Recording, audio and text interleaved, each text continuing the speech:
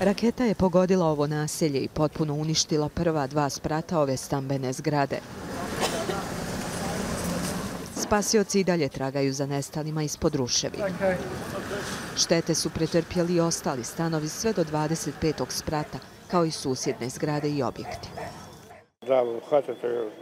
Bio sam u stanu, u devetospratnici, sva stakla prozora su popucala, potrčao sam kroz hodnik i kada sam pogledao vani vidio sam da je sve u dimu i da sve gori. Ja prišla u cijel kimnatu. Otišla sam u svoju sobu, sjela za radni stol, a onda sam čula zvižduke i buku. Vrata od balkona su se odvalila, a naša mačka se uplašila i sakrila. Pomislila sam dobro, još sam živa. Čula sam čudne zvukove svuda okolo, krike, vrisku, staklo se rasulo. Shvatila sam da naša kuća gori i da je glavni ulaz zapaljen. Valentina i njen suprug evakuisani su kao i većina stanara ovog naselja. To nije prvi put da su gađali ovo područje, zato smo mislili da će opet gađati. Ali zgrada je nova i moj sin ima stan na osmom katu.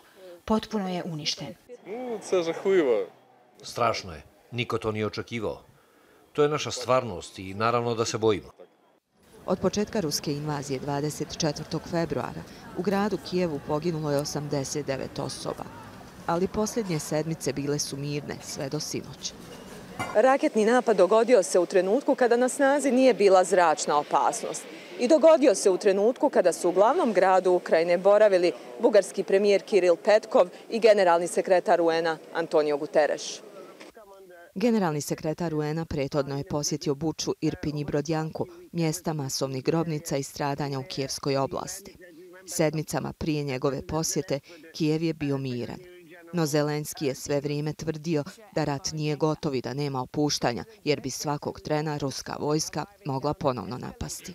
Nadina Malić-Begović, Al Jazeera, Kijev.